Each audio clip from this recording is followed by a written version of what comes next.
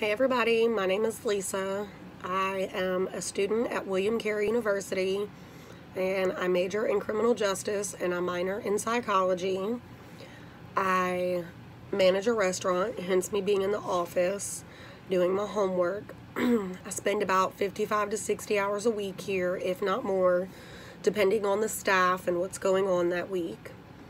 Um, a little bit about myself. I plan on graduating and working for the FBI, or I might decide to be a district attorney. I haven't really decided which one I want to do or what my end game is, but I just, them are the two things that fascinate me the most. Um, I have three kids. They are 16, 15, and 10. Two boys and a girl.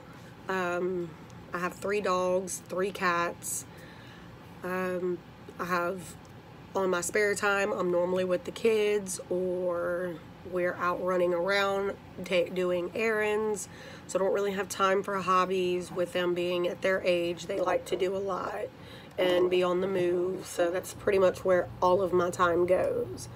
We are getting ready to go on vacation to Six Flags. So that is exciting, especially with COVID restrictions kind of lighten up.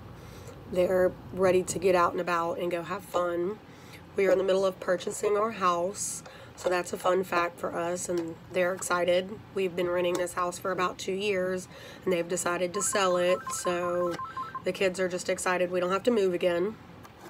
Um, that's really it. I don't have too much else to say. Y'all have a good night.